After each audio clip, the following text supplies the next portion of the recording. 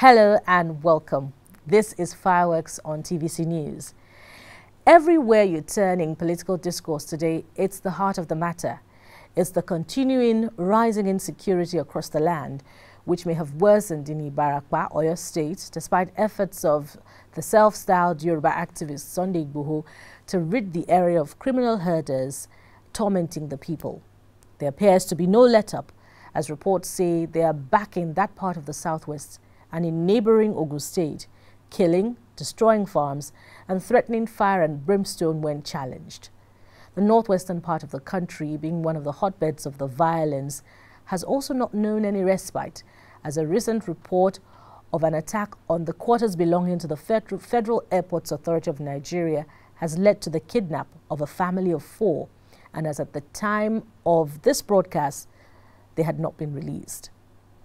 Amid the continuing violence, President Buhari gave the new service chiefs a few weeks ultimatum to secure the country. But this may not be reassuring as there are now growing calls on Nigerians to secure themselves or arm themselves rather in self-defense. And so we ask, is this an invitation to anarchy or a practical safety tip in the face of the current realities? Welcome to Fireworks on TVC News. I am Bukola Samuel Wemimo. Let's take a break. We'll be right back.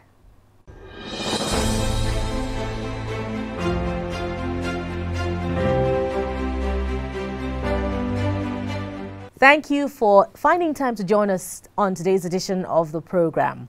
My guest today is Professor Usman Yusuf. Professor Usman Yusuf is a professor of oncology, hematology, and bone marrow transplantation. And in recent times, uh, a commentator on national issues, well, it'd rather be referred to as a concerned citizen. Welcome, Professor Usman Yusuf, Thank to you. Fireworks. Thank you for having me. Yes, we're glad to have you. Thank you for having me. So, um, you wrote a paper recently recommending that communities should be mobilized and empowered to protect themselves. Tell us exactly what informed this Good. and what form it would take, really. Good. So this is uh, it's an old paper. I don't know how long ago it was. A couple of months ago. And my visit to the forest has changed all of that. As at the time I wrote the paper, the reason I wrote the paper at that time was, of course, the continuing violence all over the northwest, It hasn't stopped, by the way. on the northeast coming, on the northeast and the north central.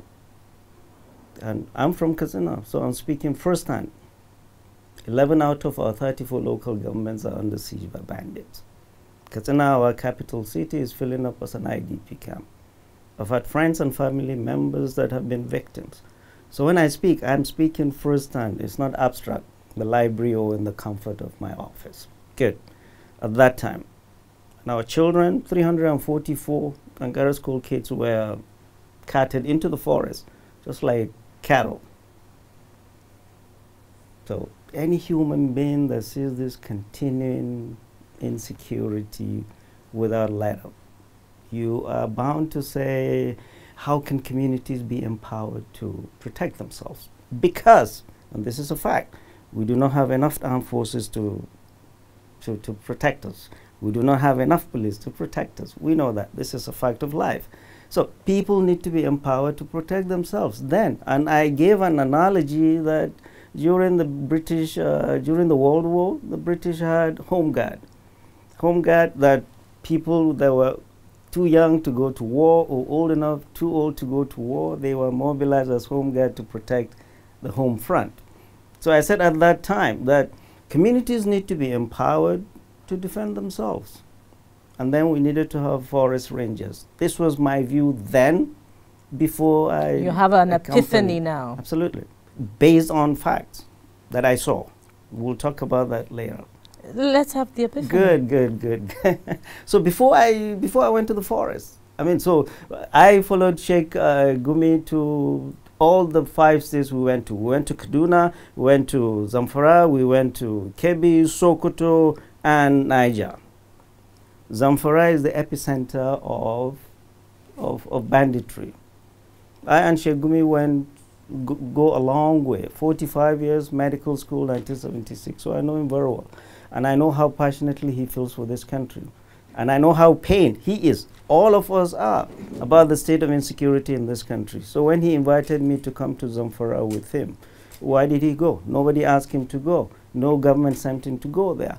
He wasn't there on behalf of anybody. Nobody sponsored him. He wasn't there to preach any sect of Islam, or he wasn't there to negotiate and say government will do this or anybody will do this. The reason he went is simple to listen. Martin Luther King Jr. said, Violence is the language of the unheard. You don't hear people, we're killing them. Sit down, let's talk. He went to listen, to listen to their grievances and preach the word of God to them and tell them. There's no scripture. That, first of all, they are Fulanis, we are Fulanis. They are our flesh and blood that we will not deny. What we are about is we are not proud of them. We are ashamed of them. There's nowhere in our scripture that supports, or any scripture that supports what they are doing the killing, the raping, the banditry, the razing of villages, the bloodletting all across the land. Whatever their grievances, they may be facts, but not excuses for what they are doing. So he went to listen because all the years he's been in the mosque, even before this banditry started, he used to preach that that, that clerics need to go to the villages, need to go to the need to go to the settlements of the Fulanis and preach the word of God to them. That they remain in the cities just like we all remain in the cities, talking to ourselves. We don't know what they are what they're about. They don't know what we are about. So we went to these five states. He invited me to come to Zamfara with him. Zamfara to me is near and dear because that's where I spent my formative years in secondary school. And for Sheikh Gumi, that is his ancestral home. Gumi is in Zamfara state. That is the epicenter. So when he goes, and we'll talk about all of this, all of these states are different. When people talk about banditry, let's do the, no, every settlement is different. Every state is different. He would sit and hear them out. They will tell all their grievances, and they told us even before, they would not have gathered if it wasn't a cleric. They've never seen Sheikh Gumi, they've never heard his sermons. But they say they have no grouse, no quarrel with any cleric. And that was why they gathered. And in all the five places, five states we went to, they gathered for us in force. They would say their grievances, all of them. Uh, before then, there would be prayers and recitation of the Quran, and they will say all their grievances, all. And then he would stand up and preach to them in the sternest of voices that we are not proud of them. We are not going to deny them, they are flesh and blood. So people are saying, oh, they are felonies from the sky. That, no, they are our flesh and blood that we will own, and only if you own that are you going to be able to do the right thing. He will preach to them. No scripture accepts what you're doing. We are ashamed of you. We're here to listen. We are not here to say government will do this for you or do that for you.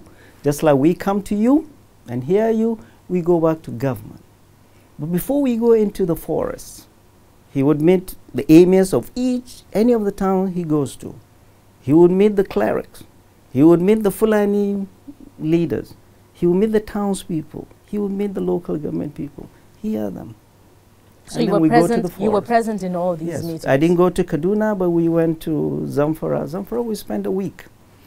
We spent a week Zamfara, we went to Sokoto, we, we then went to Kebbi, and then back we went to Niger. I was in the entourage. Yes. So, so this tour gave you a new awakening? Absolutely. So what's this new awakening? The new awakening is this that uh, there's this famous Chinese general that tells that says uh, the first the first um, the first lesson in any war is to know your enemy. Mm. We don't know we know nothing. We don't know the people that are fighting us. We don't know who we are fighting. Okay, so now you know them. What should be the next line of action? Now we know them. This is what I realized that this conflict is a social problem, not a military problem. We're throwing a bomb, a million dollar bomb, on the people where women and children drink from the same pond where their cattle drink. All problems are local. Solutions are local, not from Abuja or Lagos or Washington, D.C. They've never for once told us what grouse they have with the federal government. Their problems and grouses are local. Hmm. So we're here in Abuja throwing things, talking on TVC, talking on channels. Da, da, da. When I came back, I stopped watching TV. So what's your, what's your what's maybe your I watch maybe I watch your your- program when it airs. What's your recommendation, Professor Usman? No, I'm, I'm, I'm serious. The, the real recommendation is this is there is a place for the military, but this is essentially a social problem. So you're saying government should grant them amnesty? No, we, okay. So what is amnesty? So there is this talk about amnesty. People are all sweating. So if you look at the English dictionary, what is amnesty? Amnesty is essentially an act of forgiveness. Hear So- it. Especially. So bandits uh, should be forgiven. No, let me finish. So, an act of forgiveness mm, for past crimes, mostly political, and that is granted for by the government. And when people start saying, "Oh, let's grant amnesty," "Oh, Niger Delta amnesty," "Oh, this amnesty," I tell people, people need to chill and understand what we are talking about. I'm not talking about amnesty. We are not there. Three R's. There must be reconciliation between communities. Fulanis have lived in this country for hundreds of years and have lived peacefully with local communities. Fulanis Hausas, Fulanis Nupes, Fulanis Gwaris, Fulanis Igbos, Fulanis Yorubas. They have traversed this land for hundreds of years, long before Igboho and all the others. Long, long before, lived peacefully. So what happened? That Fulanis are fighting each of these local communities. So you can grant all the amnesty you want if you do not have local reconciliation. That is first. Reconciliation. That cannot be done by the federal government. It is local. It is the state government that need to reconcile societies. Wherever we went, Sheikh Gumi would listen to them. Come back into the towns and listen to the local folks. I'll give you an example. In Shinkapi, in Shinkafi, the, the, the bandits were telling us, oh, they, they are not allowing us to go into the, the village, Shinkafi, or they are not allowing our women to take milk in there, which we have lived with for generations. Why? And he came and asked the local government, the local government uh, administrator was there. So he asked him, what's the problem? He said, in presence of the bandits. He said, we gave them condition that they should not come into our village armed. Number one. And if they go to the market, whatever they buy, they must pay. They were not doing like this. So the sheikh looked at the, the, the head of the bandits and said, This is the right thing to do. This is what you guys have been doing. This is what your forebears have been doing and living with communities.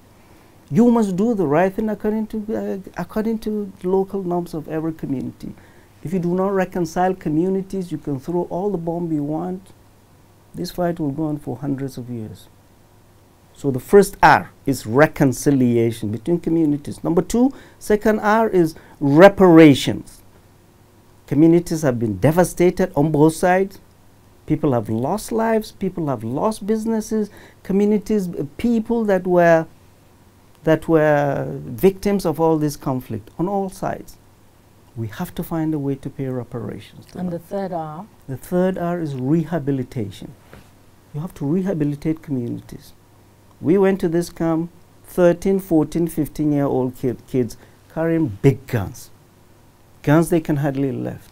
is this a short term or a long term No, solution? this is you want to you want to douse this fire.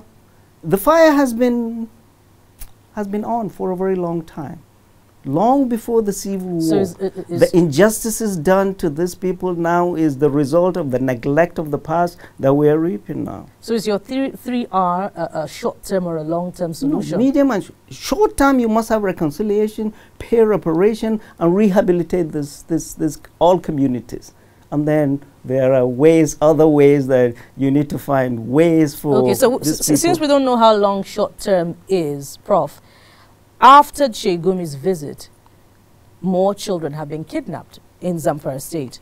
So his um, mission to preaching to the bandits have not particularly yielded results. I would say that. Let me tell you why. So when we went to, and this is part of my education, I thought I've been to enough school in my life.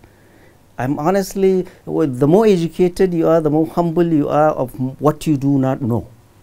By going into the forest and being at each of the meetings he holds when he comes back to town with everybody else, tells me how much we do not know.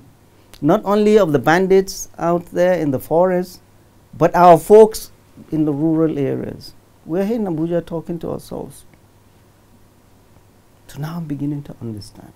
What is my understanding?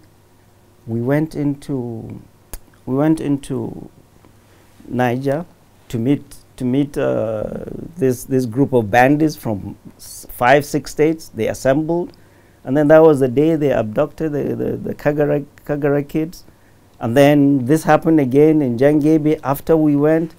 What I want people to realize is that there are people. So re- even re- among them- repentance has not started. No, no, we haven't even. So nobody, and we were not deluding ourselves, Bukola, that one or two or three visits is the answer. So how many visits? Good, good. And what I'm How saying many is that visits will bring so, peace so the purpose. to the northeast? You're, you're asking for a little too much patience no, no, here, I'm not. I'm Prof. not. I'm not. We have been. We have been fighting this for the last six years. Where have you been? And you probably fight it for the next hundred years if you don't do the right thing.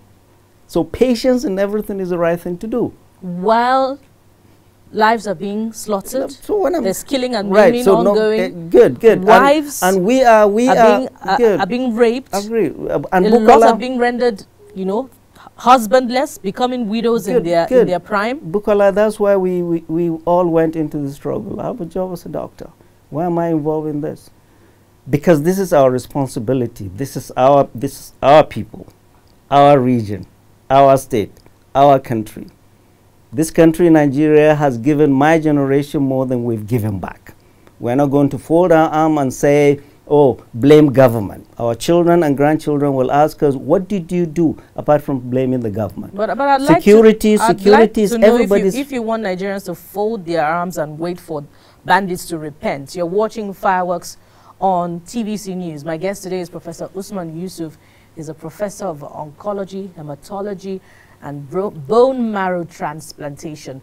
Professor Usman Yusuf has been to uh, the forests to see the bandits. He accompanied Sheikh Gumi, who is uh, canvassing for some sort of soft landing for the bandits. We'll uh, ask him uh, more questions after this break. Stay with us. We'll be right back.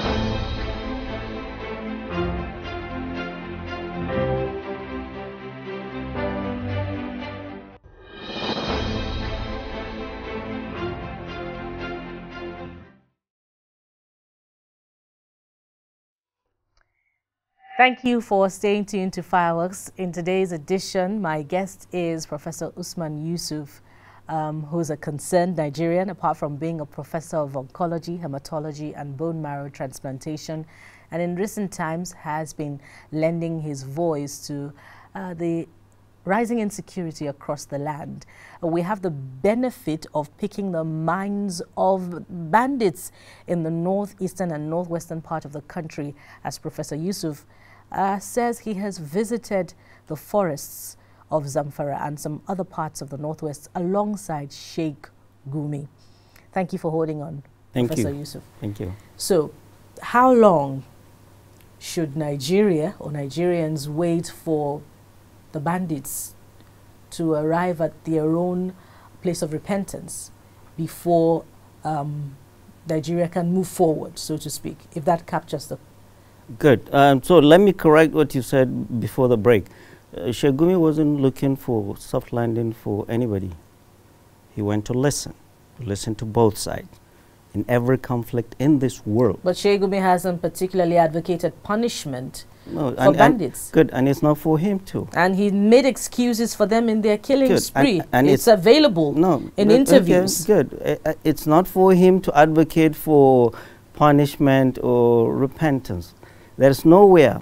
If you ask the Pope today to come into this conflict, the Pope will not tell you to continue open fire.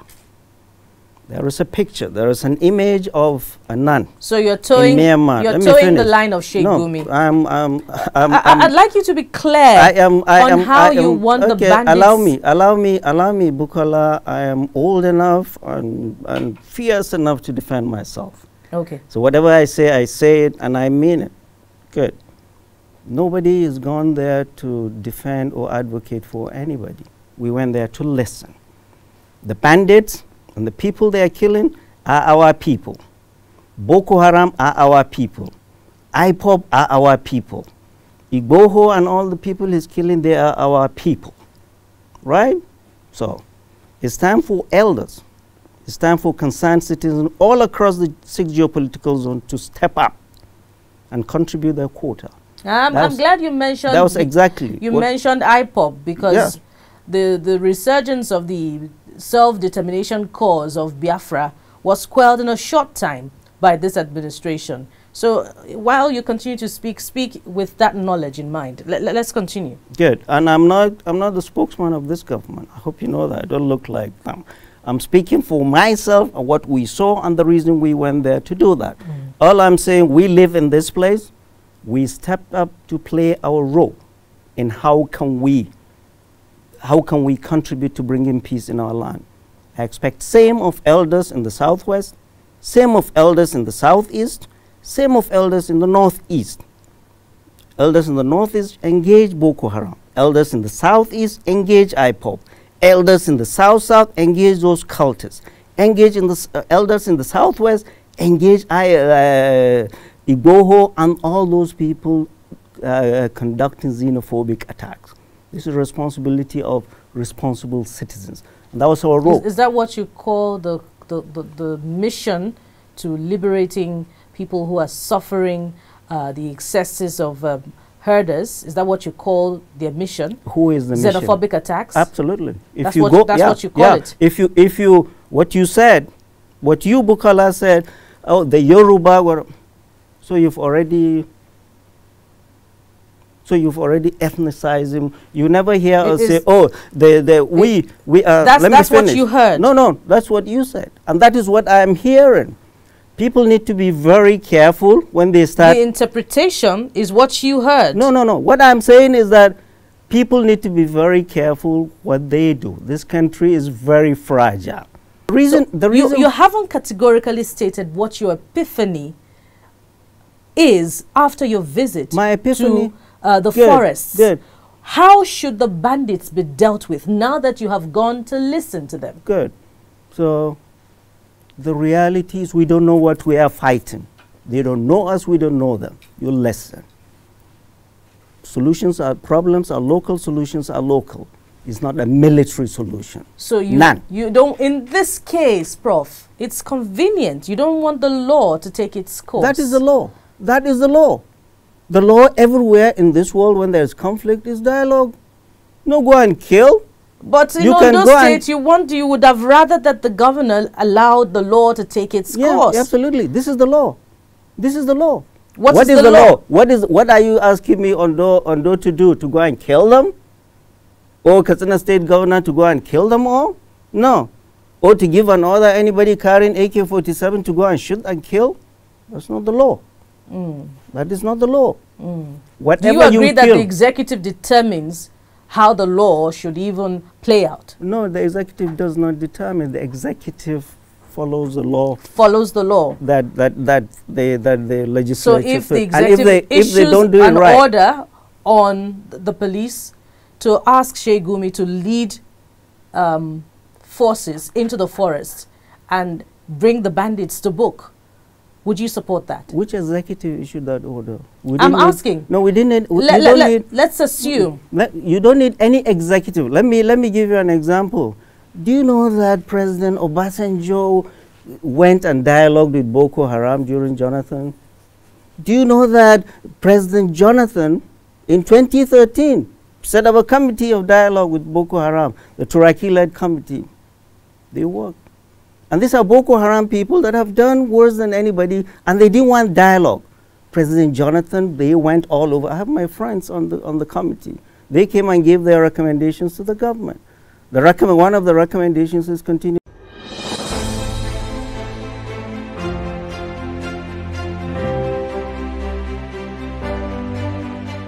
We are here. The reason we went, we are tired of Professor bloodshed. Yusuf, are we talking about the same group of people who have killed, who have raided, who have burnt houses, who have rendered many to become widows in their prime? Are we talking about this same people the same people that have, have inflicted, yeah, the same have people, inflicted sorrow right, on, no, the same households, people, yeah, the same people that have, have caused endless Good. sorrow, agony good, to many households? Good. The same people that have inflicted a lot more damage to my people than any people in the southwest, southeast, or south south. So let us tell our story. Let no one So tell you our want- story. Let me finish. You would rather that let me, no, let me finish. that government dialogues with them. No. This is the reality. What do you want to do? You want to kill them? I'll give you an example. I'll ask again. No, I'll, I'll give you an example. I'll ask again, Go ahead, Professor ask. Yusuf. If you were asked to lead security operatives to the forest where these bandits are, such that they can arrest them and bring them to book, would you do that? I would say good luck. It's not that they don't know. Everybody knows. If you want to know, you will know. If you want to know, you will know. It's not that they drop from the sky. It's not that it's not that Sheikh Gumi called anybody. so you wouldn't assist security operatives to bring criminals Why look you to are, justice? You are saying wouldn't, as if you wouldn't you s- provide the look, required assistance to bring criminals to book. Bukola, you're saying as if I know where they live, as if security agents need me or the governors need No, me. you have told if- us no, on let this me, program Let me finish. Let me finish. that as you if, accompanied Sheikh Gumi of course, to I visit did. the bandits. Very proudly too. So you know and I will too. You probably know the route to the forests. you can find your way there if you had to go there again. And let me tell you, Bukola, let me, all the states governors we went to, including Nasir El-Rufai, they said, go kill them, go bomb them. They dialogued with them, all. And we that visited Zamfara, we saw the benefit of dialogue.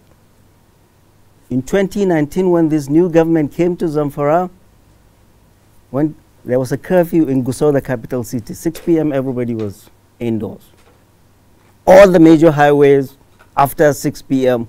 empty.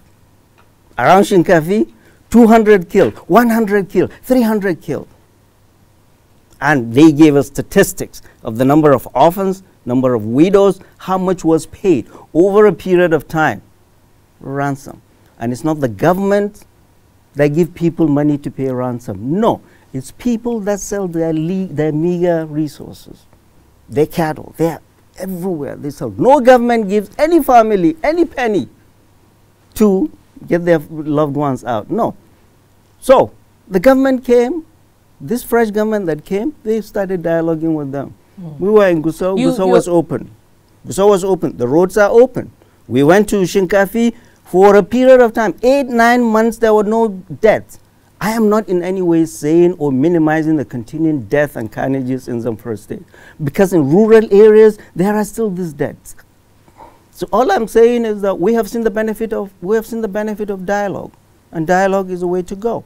You have seen the benefit of dialogue? Absolutely. We have. We saw Wh- that. wh- where's the benefit? In Zamfara? You've talked about past administrations No, dialoguing. No, we are, I'm you, telling you, you. identified pre- No, no. former President Olusegun Mm-mm, Obasanjo. yeah. You identified former Yeah, President yeah, Goodluck yeah. Jonathan. And in fact, I'd like to also make reference to your home state, Katsina, where the governor dialogued with bandits and offered amnesty. Uh, I I think in his first term now. I'm not quite sure. I think so in his first term. So where is the benefit Good. of dialogue that we can see in these references to history? I gave you a history. I gave you data in Zamfara. Zamfara Gusau curfew at 6 p.m. Now everybody is open midnight. The roads were impassable after 6, 5, 7 p.m. You could. We drove through Zamfara. Have you forgotten that uh, some girls have just I'm been coming. I'm coming. That uh, you, you see, who have just uh, been released were you, kidnapped You need, you need, after this dialogue. How were they brought out? Military action? Dialogue. Dialogue. So dialogue is the key. How were the Chibok girls brought out? How were the Dapchi girls brought up? After How was Kankara brought out? But where were the how bandits? Was, how was how was Are the bandits not still in the forest? Well, You- are they not going to kidnap again tomorrow? me- I don't that I don't know. But what I'm You're saying not, is you're not, you're not perturbed by the possibility that they could still kidnap tomorrow.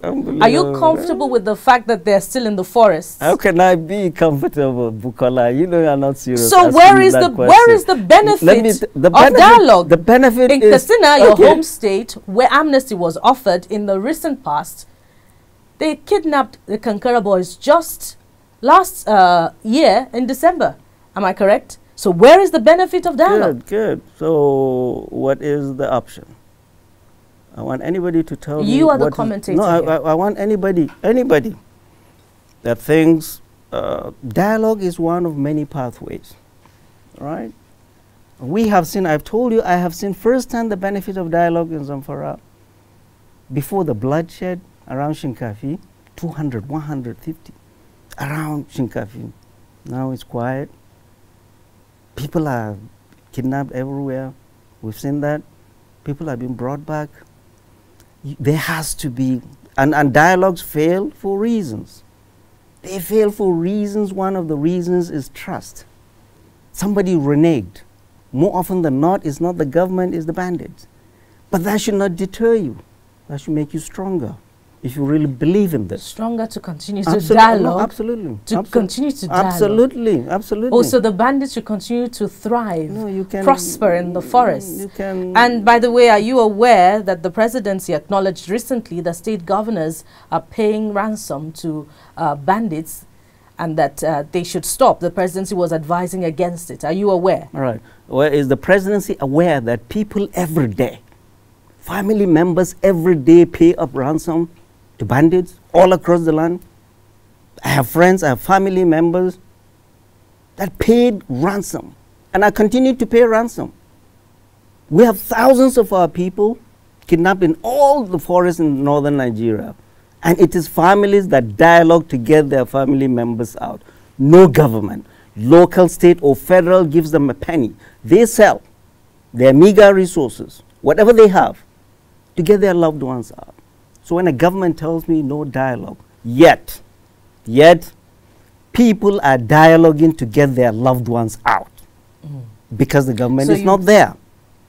If a government is there, government will, will, will, will do this for us. There is no governor, governor you will go to if your loved one is kidnapped. None to help you. We have thousands of our people all across the forest. Family members are dialoguing to get their loved ones out.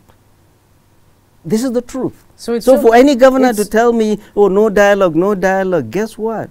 It's o- it's okay for the bandits to continue to thrive, Uh, prosper in the forest, Bukola, do I look at like the mercy of uh, people in the in, in, in, the communities Good. who are selling their property to Good. pay ransom good? Uh, um, and and are being impoverished. good. And Nigerians, So that, that, that status quo is fine. Fine. Uh, Nigerians will vouch for me. That before As- this program, as the country continues before, to before this program, I have been the benefits of dialogue. no. it- The, the, country need, needed to have explored the benefit of dialogue. We don't need to explore dialogue is the best. It says in our in our, in our religion was sul higher. Peace is better. Bloodshed, whichever way you can prevent bloodshed, that's the pathway to go. Hmm. That is the pathway to go. And While the No, armed criminals remain in the I am not. I am not. Uh, I'm not speaking for armed criminals or the military or the government or anybody. I'm speaking as a concerned citizen whose loved ones have been involved, whose friends have been involved, whose state has been involved. I am not speaking from the sky as an abstract person. I'm a very concerned citizen. That's why I got into this. Hmm. And the reality is, we're all together. Nobody is against any government or any organization. If we put all our heads together, we went to all these camps in the bandits, with bandits, all the five states. I They- ask They gathered.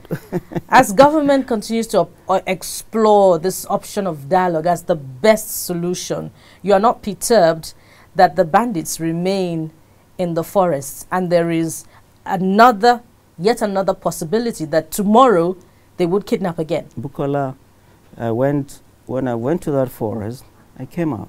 13, 14 year old, you want to cry. These are your children. These are hmm. your children. 13, 14 year old carrying big guns, going to do this. Look at the children from Jangebe Primary School.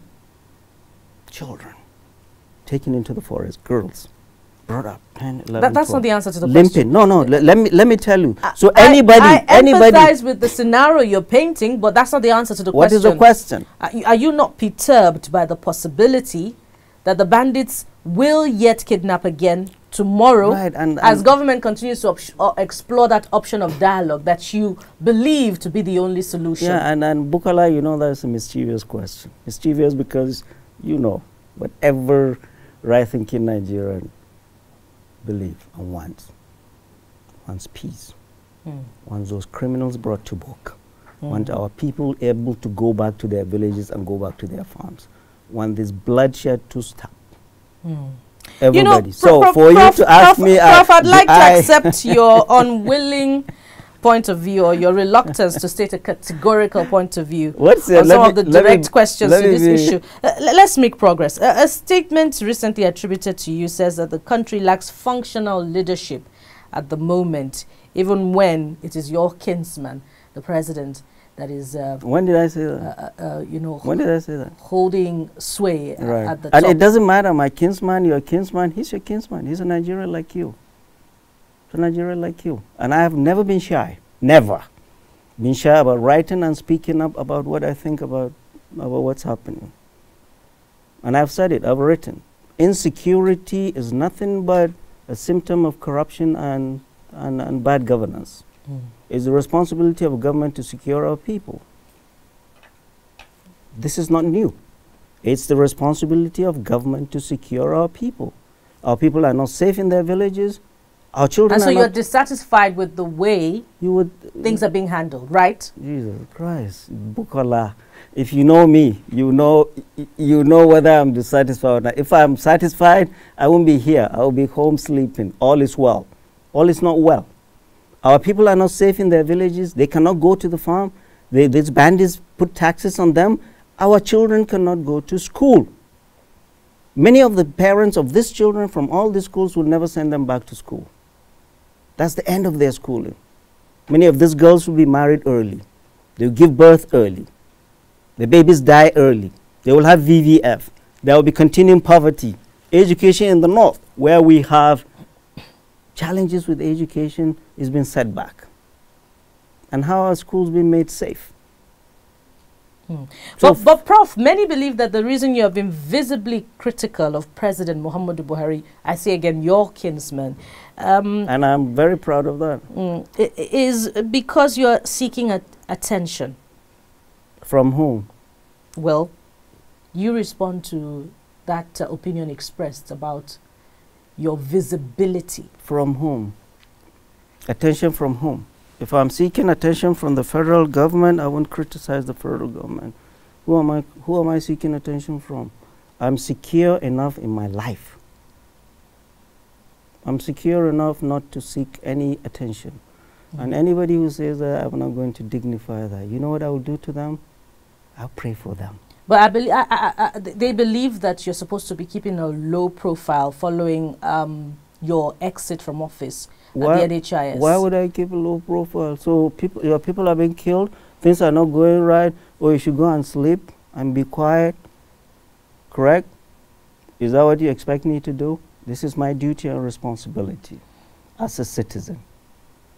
And it's my right as a citizen to speak up if things are going wrong, especially when it affects me personally, security. Do they believe it's a slap on the face Who is following the, the way you Who is handled? A- aren't you reading Who is there? commentaries? I, you know why?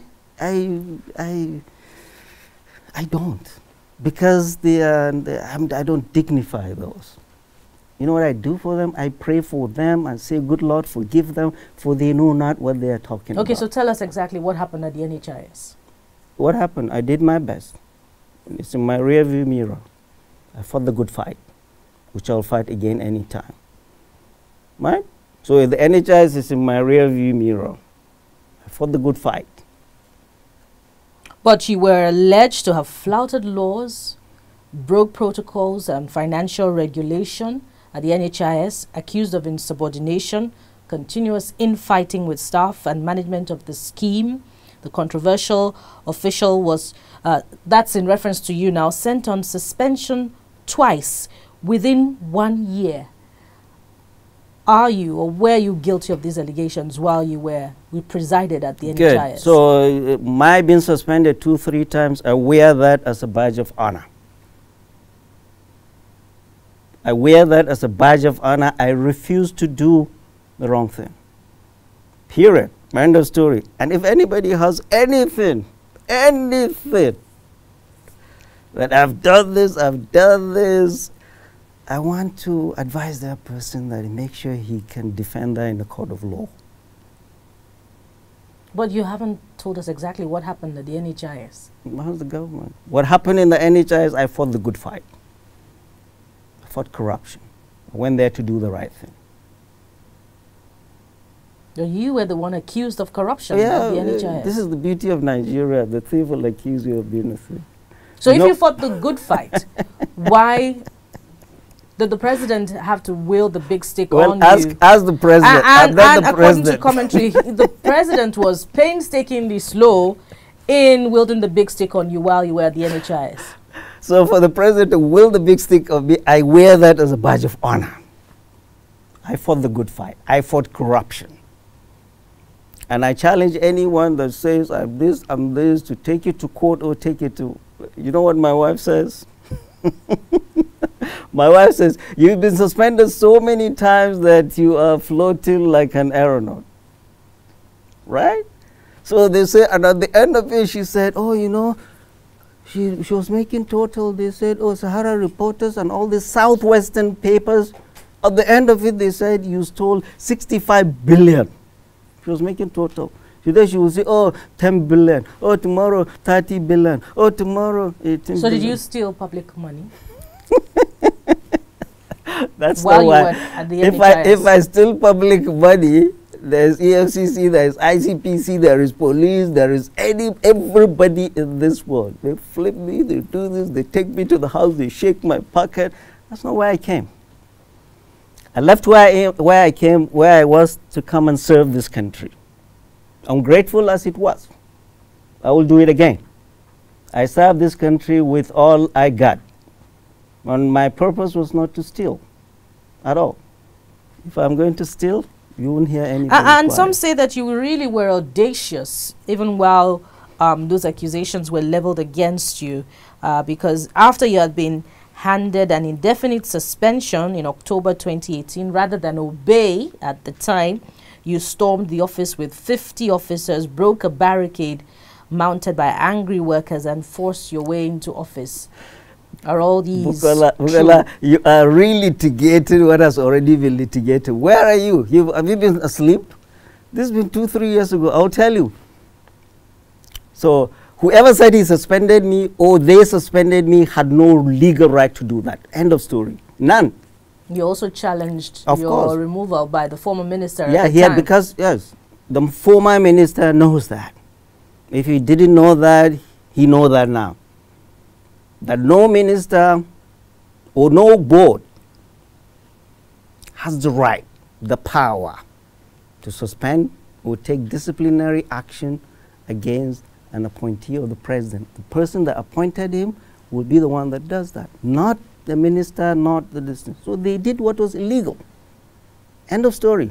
And I wasn't going to, as the chief executive of the NHIS, going to sleep because the board took an, an illegal decision against me. Or the union were chanting, whoa, whoa, whoa, whoa, whoa, whoa. I needed to show that I was in charge. And that I did. And I will do again. So there's so much indiscipline and rascality.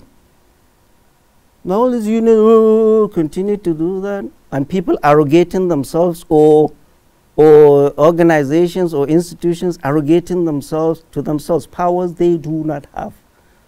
So if everybody is arrogating himself, the minister arrogated himself the power of the president. The board, the board arrogated itself the power of the president. That is indiscipline. And the union, they're all connected. I was there to do the right thing, and that I did. And I will do again. So anybody telling me I do this, I do this, you don't know what I went through all this time. So in spite of all you went through at the time, you would not keep a low profile. You'd be vocal in commenting on national issues. Absolutely, because my are, right. Are, are you seeking another political appointment? From whom? From the current administration. No, I'm not. Even if I'm given, I will not accept. You print that tomorrow. So we can, if quote, I wanted, we can quote you on this absolutely, tomorrow. write it, put, publish it. If I wanted to be, if I wanted to remain the ES, I would have kept quiet and continued as is. But That's I refuse, and I won't do that. End of story. That's not me, that's not my upbringing, that's not how I bring up my children. There is a lot more to life than crass accumulation of ill-gotten wealth. NHIS money, I said it before, and I will say it again, is blood money. This is money meant for people to go to hospital. And over the years, is what they've been doing. I challenged the status quo, and I did not have the support of the government to fight, fight the right fight. And I'm glad I'm out. But I'm not seeking any position in this government. No, I'm not. Okay, just before we exit this issue, are you emboldened in your continuing gale of criticism of the administration because you hail from the same place as the president? Unbelievable. Unbelievable. What kind of question is this? So you're saying because uh, you would expect, oh, if he's from my state, oh, I should keep quiet. Saying I'm taking liberty because he's from my state. People did not know. I'd never seen the president of the Federal Republic of Nigeria before I got this appointment. Never. Never set on, uh, eyes on him. I never, nobody lobbied for me to get this job. Nobody. And I would criticize anybody in office because it's my right. I voted for this president twice because I believed he would do the right thing. If he's doing the wrong thing, it is my duty and responsibility.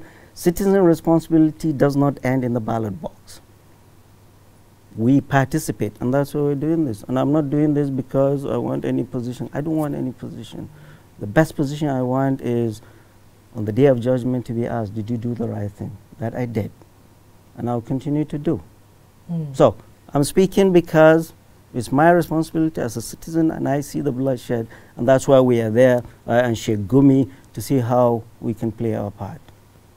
So back to what brought us here, Prof, which is the continuing insecurity in the northern part of the country. So what will be the enduring solution? What will bring peace? Or, like the former chief of army staff said, is it going to take decades before um, insurgency, banditry uh, become no longer fashionable? Yeah, and I talked about I talked about what the former chief of army staff said. He said in Arise, he said, "Oh, this thing will go on for 20 years." And Femi Adesina the other day on channel said, oh, even the Tamil tigers of, of, of Sri Lanka, it lasted 26 years. I said, guys, we are not ready to wait that long. We want to end it now. Let's find a way to end it now. And how do we do it? it? Is the government and the people and everybody saying enough is enough. Boko Haram has been going on for 12 years. It's too long. The civil war, Nigerian civil war, lasted 30 months we need to find a way to put an end to this. The legacy of President Muhammadu Buhari should be he should leave peace. That will be enduring legacy, not infrastructure. This is what we need. So peace is what we need, and everybody needs to come in. This bandits listen to clerics. That's why I'm happy Gumi came, and that's why I, I'm asking every cleric in this country, all over the regions, to get involved. And I'm very proud uh, Reverend Yakubu Pam got involved in the Southern Kaduna crisis. All clerics of all faith need to come in. All combatants listen to them more than they listen to government, more than they listen to anybody else. That is what they can do. But the legacy of President Muhammadu Buhari, the legacy that he should leave is peace. And he should do all that is possible without shedding more blood. Dialogue is one pathway to that. and you should encourage everybody to get involved. When I came out, this is my listen. I went, I saw, and I'm a, a lot more hopeful today of peace. If we follow the pathway to dialogue, it's possible. And only us, nobody will drop from the sky to change this country for us. This country we call home. It is all of us that should get involved. And I'm doing it not because I want anybody's attention. I want God Almighty's attention. Thank you very much. And uh, you may have gotten it. We thank you very much, thank you. Professor Usman Yusuf, for thank your you. time thank and indeed for your liberty on the program today on fireworks. We hope indeed that the administration um, leaves a legacy of peace. Well, that's hoping against hope. That's it on the program today. Thank you for watching and uh, join us again same time next week when we'll bring you another edition. On behalf of the crew, I am Bukola Samuel Wemimo. Bye for now.